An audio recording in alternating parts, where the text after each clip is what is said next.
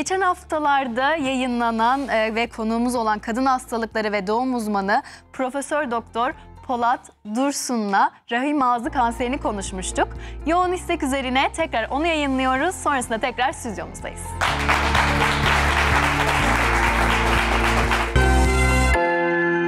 Evet, şimdi sıradaki konuğumuz yine e, Ankara'dan ağırlayacağız. Kadın hastalıkları ve doğum uzmanı Profesör Doktor Polat Dursun stüdyomuzda.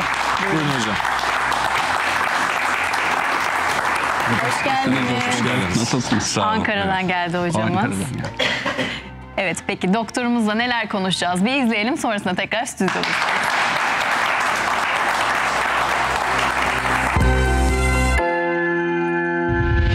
Rahim ağzı hücre çoğalması nedir? Kadınlarda yumurtalık kistleri ne sıklıkta görülür? Miyomlarda ameliyat kararı ne zaman verilir?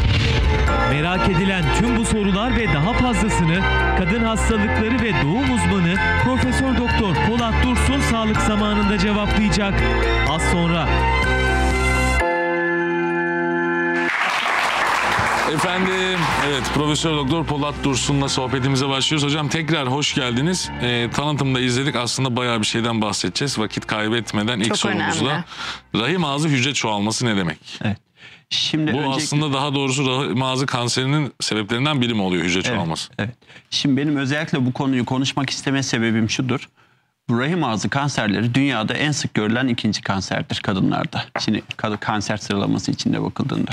1900'lü yılların başında baktığımızda kadınlarda en sık görülen ve en sık öldüren kanserler içinde ilk sıralarda yer almaktayken e, son zamanlarda tarama programlarıyla 1950'lerden sonra yapılan simir testleri ve son zamanlarda gündeme giren HPV testleriyle e, bu- Erken Evet, teşhis. erken teşhis söz konusu olmuştur ve bu kanserin kadınlardaki görülme sıklığı bayağı gerilere düşmüştür.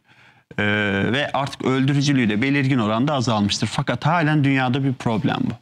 Halen yılda Dünya Sağlık Örgütü rakamlarına göre yılda 500 bin tane ka- e, kadında görülmekte ve her yıl bu kadınların yaklaşık yarısı bu kanser dolayısıyla kaybedilmekte.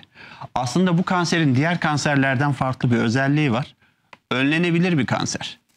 Diğer kanserlerin birçoğunu önleyemiyorsunuz. Fakat bu kanseri kadınlar jinekolojik muayeneye giderek Bir de aşısı var değil mi? evet aşısı da var ondan da vakit olursa bahsedeceğiz. Engelleyebiliyorlar. Yapacağımız tek şey jinekolojik muayeneye gidip pap smear testini aldırmak veya HPV testini aldırmak. Çünkü o simir testinde hücre değişikliği hemen İşte çıkıyor. bahsetmek istediğimiz konu da bu. Hücre çoğalması. Eğer varsa hastada HPV enfeksiyonu varsa bu hücre çoğalması e, o simir testinde ortaya çıkıyor ve erken teşhisle hasta kanser olmadan tedavi edilebiliyor. Peki hemen bir hücre değişikliği çıkarsa kanser mi demektir? Her her hücre değişikliği kanser demek değildir. E, vurgulanması gereken önemli noktalardan birisi de budur. Hastaların çoğu eğer bir hücre değişikliği varsa veya HPV enfeksiyonu varsa hocam kanser mi oldum veya kanser oldum korkusuyla bizlere gelmek. Evet. HPV'de e, bildiğimiz kadarıyla erkek taşıyıcı oluyor ve e, değil mi? Bir de öyle bir Şimdi durum var genelde. e, hem erkek hem kadın taşıyıcı, Taşıyıcı olabilir. olabilir. Şimdi HPV açısından tekrar olaya bakacak olursak bu HPV denen virüsün yüzden fazla tipi var. Bir kısmı vücudun değişik yerlerinde, yüzde, vücutta, bir kısmı elde, bir kısmı ayakta, bir kısmı da bizim açımızdan önemli olan genital bölgede lezyonlara yol açmakta. HPV'nin yol açtığı lezyonlar genel olarak görülebilen lezyonlar kondilom diye isimlendiriliyor. Halk, e, halk arasında da sil e, olarak isimlendiriliyor. Bunlar görünen lezyonlar ve sile veya kondiloma yol açan HPV'ler kanser yapmaz genel. Genel kural Tedavi budur. edilebiliyor mu evet, bunlar? Tedavi edilebilir. Ee, kansere yol açan tipleri HPV'nin yüksek riskli tipler olarak bilinir. Bunun prototipi iki tanedir. Ee, yüzden fazla tipi var dedik. Bu tiplerin numaraları var. Ee, HPV 16 ve 18. Kansere en fazla yol açan tipler budur. Rahim ağzı kanserlerinin %99'unda neredeyse HPV var dedik.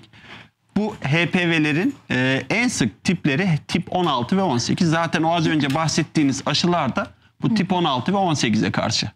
E, vurgulamak istediğim diğer bir nokta şu. Bakın HPV ile kanser arasındaki ilişki o kadar net ki, o kadar güçlü ki sigara ile akciğer kanseri arasındaki ilişkiden daha güçlü. Evet sigara, Sigara sağlığı sağlığı. zararlı diyelim Sigaranın zararlı olduğunu vurguluyoruz. O konuda bir şeyimiz yok ama vurgulamak Bizim de vurgulamamız gerekiyor. Vurgulamak istediğim diğer bir nokta HPV de çok tehlikeli. HPV tip 16 varsa bir hastada bunun rahim ağzı kanseri geliştirme riski 400 kat artıyor. HPV'si olmayan, 16'sı olmayana göre. HPV 18 varsa risk 250 kat artıyor. Yani bu iki tip o yüzden çok önemli. Evet. Özellikle bu tipler varsa mutlaka iyi bir jinekolojik muayeneden geçmek gerekiyor. Muayeneyi yaptık, Evet. testleri yaptık ve e, böyle bir riskimiz var. Rahim ağzı kanseri teşhisi koyduk Evet. bir hastamıza. Koyduk ya da koymadan Ondan önce, önce- de ne yapılabiliyor? Şimdi e, iki durum var. Birincisi smear testinde hücre çoğalması var. Heh. Her hücre çoğalması kanser demek Değil. değildir. Hastaların panik olmadan özellikle bu işle ilgilenen bir jinekoloğa muayene olması gerekir. Çünkü her jinekolojik uzman da sadece bu işi e, yapmaz, başka işler de yapar. Özellikle bu işlerle ilgilenen kişilere muayene olması gerekir. E, Hücre değişikliği Hücre çıktı. değişikliği var. Hücre değişikliği varsa biz genel olarak yaptığımız şey HPV testine bakıyoruz. HPV tipine bakıyoruz. Ve beraberinde rahim ağzının kolposkopi denen bir mikroskopla büyütülerek incelenmesini yapıyoruz. Bu kolposkopik incelemede hücre çoğalması olan hastada rahim ağzındaki bölgede bir takım hücresel değişiklikler var mı yok mu bunun emareleri var. Onlara bakıyoruz. İşte Örnek renk değişikliği var mı? Damarlarda belirginleşme var mı? Ee, noktasal değişiklikler var mı? Bunlara bakıyoruz. Eğer bunlar varsa o bölgelerden biyopsi alıp bunu tahlile gönderiyoruz. Ondan sonra hücre değişikliği olan hastada kanser var mı yok mu onu tespit ediyoruz. Kanser varsa Hangi derecede? evet kanserin Ona evresini tedavisi de tespit ediyoruz. çünkü, Ardından da tedaviye geçiyoruz. Tedavisi genel olarak erken yakalanmış yani preinvazif safhada yakalanmış hastalarda Kaç derece oluyor mesela? 4 Şimdi 5. kanserler genelde hemen hemen tüm kanserler dört evrede Dört. in- e, inceleniyor. Birinci ve ikinci evre daha çok erken, üçüncü ve dördüncü evrede yakın ve uzak metastazlar şeklinde. İlk derecelerdeyse nasıl bir tedavi? İlk derecelerde ise sadece hücre çoğalması şeklinde rahim ağzında kısıtlıysa o durumda e, LEEP dediğimiz hastalıklı bölgenin elektrik enerjisi kullanılarak çıkartılması işlemi yapılıyor. E, bu çok basit 15 dakikalık bir işlem. Bunu tespit ettiğimiz hastada bu şekilde rahim ağzı kanseri gelişmeden bu kansere dönüşmeden bu hastalıklı bölgeyi çıkartıyoruz. Genel anestezi altında. Genelde hafif sedasyon dediğimiz bir uygulama var. Ee, onunla yapıyoruz. Hani poliklinik şartlarında hani bazı hastalarda da şey olmadan yapılabiliyor anestezi olmadan ama ağrılı ve biraz rahatsızlık verici bir işlem. Genelde hafif bir anestezi uygulaması Peki yapıyoruz. sonrasında hastanın e, hani doğumla ilgili vesaire onlara bir etkisi var mıdır bu Şimdi işlemin? bu yaptığımız lip dediğimiz rahim ağzındaki o hastalıklı bölgenin e, Alınması. alınması işleminin hastanın üremesi üzerine olumsuz bir etkisi yok. Hastanın e, çocuk sahibi olmasına e, olumsuz bir etkisi yok. Fakat bu lezyonların tekrarlama ihtimali var. Tekrar tekrar bu işlemler yapılırsa hastanın rahim ağzı bölgesi kısalıyor rahim ağzı bölgesinin kısalmasına bağlı erken doğum riski gebe kalmasını engellemiyor fakat e, erken doğum riskini arttırıyor. O açıdan da biz hastaları bilgilendirip yakın takip ediyoruz. Bu preinvazif dediğimiz hücre çoğalması aşamasında tespit ettiğimiz hastalar için uyguladığımız tedavi. Bir de rahim ağzı kanseri gerçek anlamda gelişmişse uygulanan tedaviler var. Burada hastanın yaşına bağlı olarak ve yakaladığımız evresine bağlı olarak tedavi değişiyor. Erken evrede yakalıyorsak ve hasta çocuk sahibi olmadıysa henüz rahim ağzını ve hastalıklı bölgeyi alarak hastanın ameliyatını yapıyoruz. Eğer yeterince çocuk sahibi olduysa veya e, e, menopoz dönemindeyse o durumda e, Tekrarlamaması e, açısından tekrarlamaması açısından e, rahimi e, rahim ağzını hastalıklı vajinal bölgeyi alarak ve lenf bezlerini alarak bu ameliyatı yapıyoruz. Rahim ağzı kanseri açısından tedavi bu. Erken yakalanan rahim ağzı kanserleri. Şimdi e, rahim ağzı kanseri ilk konuya başlarken söylediğiniz gibi hem çok e, sık duyulan ve görülmeye başlanan bir yapı, ol- e, bir hastalık. Aynı zamanda son dönemde yine çevremizde çok gördüğümüz ve duyduğumuz yumurtalık kistleri var. Kadınlarda görülen. Kadınlarda görülen yumurtalık kistlerin e, bir sıklığı var mı? Yoksa yani bu dönem çoğaldı mı bize mi öyle geliyor veya daha mı rahat konuşmaya başladık? Yoksa bu hep böyle miydi? Şimdi yumurtalık kistleri e, kadınlarda özellikle üreme döneminde çok sık görülen kistlerdir. Kadınlarda beyinden salgılanan hormonların etkisiyle e, aslında her ay adet dönemlerinde yumurtalıkta kist, ufak bir folikül kisti, içi su dolu bir kist gelişir ve kaybolur. Bu aslında normal fizyolojik bir süreçtir. Bazen biz ultrasonla baktığımızda bu kistleri görürüz. Ardından hastaya adet sonrası kontrole gelmesini söylediğimizde o kistlerin çoğunun kaybolduğunu görürüz. Bu normal fizyolojik bir olay. Bunlara folikül kisti veya fizyolojik kistler denir ve bunlar problem değildir. Fakat yumurtalıktan gelişen değişik kistler vardır. Bunlardan e, en önemlisi çikolata kistleridir. Çikolata kistleri içerik olarak ameliyat sırasındaki kistin içeriği tamamen çikolataya benzediği için bu isimle anılmaktadır. Bunların sıklığı %2 ila %10-15 arasında değişmektedir. Kimlerde daha sık görülür bu kistler? E, adet sancısı olan, e, adet dışında kasık ağrısı olan veya ağrılı birlikteliği olan kadınlarda bu kistlerin görülme risk- riski daha yüksektir.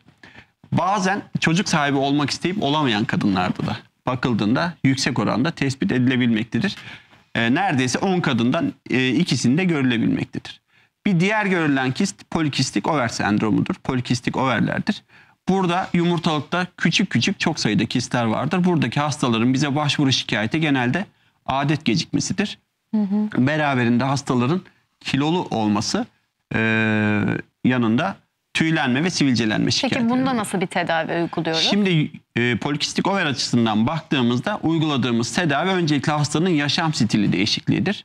Hastanın yapması gereken şey ki bu hastalar genelde kilolu hastalardır ve ailelerinde şeker hastalığı risk olma olasılığı da daha yüksektir. Öncelikle kilo vermeleri gerekmektedir. Sedanter yaşamdan vazgeçip ki genelde böyledir bu hastalar e, spora başlamaları gerekmektedir. Eğer bu şekilde hastanın adet düzeni halen düzelmiyorsa o zaman ilaç tedavileri uygulanır. Uygulanan ilaç tedavileriyle hastanın düzenli adet görülmesi sağlanır.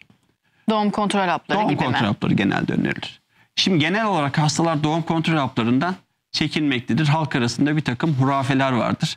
Ee, bu hurafelerin bir kısmı hocam e, kısırlık yapıyor şeklinde. Uzun süre kullanımı. Evet, uzun süre kullanımda kısırlık yapma etkisi yoktur bu ilaçların. Tamamen yanlış bir bilgidir bu. Ee, ilacın etkisi bırakıldıktan sonra 1-2 ay içinde yumurtlama üzerine olan etkisi tamamen geçmektedir. Geçiyor. Ee, bir diğer etkisi hocam bu ilaçlar kanser yapıyor şeklinde hastaların korkusu vardır. Ee, bunun bir kısmı doğru bir kısmı yanlış. 5 yıl ve üzerinde yumurtalık e, e, doğum kontrol hapı kullanan hastaların yumurtalık kanseri gelişme riski %50 azalmaktadır. Rahim içi kanseri gelişme riski %50 azalmaktadır. Kolon kanseri riski azalmaktadır tartışmalı olan etkisi meme kanseri üzerindedir. Meme kanseri etkisini arttırdığı özellikle 5 ve 10 yıl gibi e, uzun kullanımlarda arttırabileceği yani arttırdığı da her zaman kesin olarak söylemek doğru değil e, şeklinde endişeler vardır. Fakat biz bu tür hastaları sürekli kontrolümüzde tuttuğumuz için e, düzenli meme muayeneleri ve düzenli e, meme ultrasonlarıyla takip ettiğimiz için bu riskin Herhangi bir risk teşkil etmiyor. daha düşük oranda olduğunu düşünüyoruz. Bir de miyomlar var hocam. Evet, miyomlar gene kadınlarda sık görülen bir jinekolojik problemdir. Şurada baktığımızda e, 4 kadından birinde miyom görülmektedir. Çok sık görülmektedir miyom. yüksek insidans. Miyom rahimin iyi huylu bir e, kas tümörüdür. E, kadınların birçoğu da aslında farkında değildir böyle bir hastalığı olduğunu. Biz hocam bir muayeneye geldim diye geldiğinde ultrasonla baktığımızda bu miyomları tespit ediyoruz. Sonra dünya kararıyor ama işte bizde öyle bir kitleye karşı bir şey var ya. Evet. Yani şimdi duruş. hastalarımızın e, övündüğü aslında övünmemesi gereken şeylerden birisi şudur. Hocam ben 60 yaşına geldim hiç doktora gitmedim. Bu aslında övünecek bir şey değildir. Bu aslında yanlış bir şeydir. Biz her zaman söylüyoruz. Sizler de programlarınızda vurguluyorsunuz. Erken tanı çok önemli. Bu her tür kanser için geçer. Sadece jinekolojik kanserler için değil. Bizim ülkemizde olmayan ama olması gereken. Şimdi şuradaki topluluk bir rutin kontrole girse Tabii. emin olun e, değişik değişik hastalıklar veya hastalık başlangıçları çıkacaktır. Allah korusun. Yani o sebeple yani vurgulamak istediğim şudur. Hanımlar hemen gidiyorsunuz muayeneye. Sadece jinekolojik muayene değil. Yani e, rutin check-up'ların da yapılması Tabii. çok önemli. Özellikle belli yaşlardan sonra. E, biz genelde Sağlık Bakanlığı'nda ve e, şöyle bir e, sloganı var. Hastalıktan korkma ya da kanserden korkma, geç kalmaktan kork. Erken tespit ettiğimiz kanserler hiçbir şekilde problem yaşamıyor. Bunlar ameliyatla veya değişik tedavi yöntemleriyle çok uzun süre yaşıyorlar. Fakat geç tedavi geç tanı konan ve dolayısıyla tedaviye geç başlanan hastaların e, yaşam süreleri e, daha problemli Bu olur. miyomlarda peki çok sık görüldüğünü söylediniz. Evet. E, Her miyomda bir ameliyat kararı oluyor mu? Şimdi miyomların Neye göre veriliyor bu karar? Evet, miyomların aynı şey kistler için de geçerli. kistlerin de hepsinin ameliyat edilmesi gerekmiyor. E, ameliyat öncesi çok dikkatli bir şekilde karar verilmesi gerekiyor. Çünkü bunlar üreme çağında sık görülen durum. Her iki durumda hem miyom hem kist. E, eğer kist sebat ediyorsa, içinde solit alanlar varsa, septa ya da halk arasında perde denen yapılar varsa veya bazı tümör belirteçleri yüksekse veya takipte küçülmüyor veya büyüyorsa bu durumda kistlerde ameliyat gerekir. Miyomlarda ameliyat kararı neye göre verilir? Miyomlarda boyut 6-7 santimin üzerindeyse, hastada semptom oluşturuyorsa, nedir bu semptomlar? Adet düzensizliği, ara kanamaların olması veya kanamaların yoğun olması veya kasık ağrısının, karın ağrısının olması en sonda e, miyomu olduğu bilinen hastanın e, çocuk sahibi olamaması. Bu tür durumlarda e, miyomlar için de ameliyat kararı veriyoruz. Bir de laparoskopi diye bir şey var hocam. Ondan da Şimdi laparoskopi son zamanlarda çok popülerleşen bir cerrahi yöntem. Bir e, ameliyatların mikro e, e, kameralar ve mikro cerrahi aletler kullanılarak yapılması yöntemi. E, hastaların karnını açmadan göbek deliğinden kamerayla girerek mikroskobik bir kamera, 1 santim büyüklüğünde bir kamera ve 5 milimetre büyüklüğünde e, küçük cerrahi aletlerle karnın içine girerek e, ameliyatın yapılması. Jinekolojik ameliyatların birçoğu bu yöntemle yapılabiliyor. Bu yöntemin avantajı ne? Hastalar için bakıldığında hastalar ameliyattan bir gün sonra normal hayatlarına neredeyse yaklaşık şekilde hastaneden taburcu oluyorlar. Erken taburcu oluyorlar. Karınlarında büyük bir yara izi kalmıyor. Ee, kozmetik olarak da daha mutlu oluyorlar. Hastaların günlük hayatına, ev işlerine, sosyal hayatına ve e, iş hayatına daha dönmeleri hızlı. daha, oluyor. daha hızlı Peki oluyor. e, az bir zamanımız kaldı. E, bahsedebiliriz demiştik. Biraz rahim ağzı kanseri aşısından da kısa Evet. bahsedelim. Şimdi rahim ağzı kanseri e, aşısı e, günümüzde şu anda Türkiye'de bulunan ikili ve dörtlü aşı diye iki tane aşımız var. Bunların ikili aşı sadece rahim ağzı kanserinin en çok etkeni olan tip 16 ve 18'e karşı etkili. Dörtlü aşı dediğimiz aşıda tip 16 ve 18 yani kanserin yanında genital bölgede en sık sihir yapan tip 6 ve 11'e karşı da etkili. Bunlar e, aşı 9 yaş ile 27 yaş arasındaki yaş grubunda cinsel aktivite başlamadan e, öneriliyor. E, aşının e, şu anda en önemli e, şeyi e, endişeleri acaba bir yan etkisi var mı? Rahim ağzı kanseri veya diğer hastalıklara yol açıyor mu? Bununla ilgili endişeler var. E, bilim dünyasında hani güvenilir dergilerde yayınlanan makalelere baktığımızda rahim ağzı kanseriyle yakından uzaktan bir ilişkisi yok. Aksine önlenmesi için öneriliyor. Rahim ağzı kanserine yol açacak lezyonların önlenmesi için. Ee, bir takım nörolojik hastalıklar artıyor mu diye endişeler var. Çalışmalar bunların da artmadığını göstermiş. Peki hocam, Hocam, böyle ortaya doğru ediyoruz. Çok teşekkür vallahi. ederiz verdiğiniz Ben değerli bilgilerden ötürü. Ee, bu arada tekrar ayağınıza da sağlık demek istiyoruz. Sizin vasıtanızda. Ankara'da selamlarımızı, sevgilerimizi iletiyoruz. Efendim kadın hastalıkları ve doğum uzmanı Profesör Doktor Polat Dursun'u ağırladık. Kendisine alkışlarla. Buyurun hocam.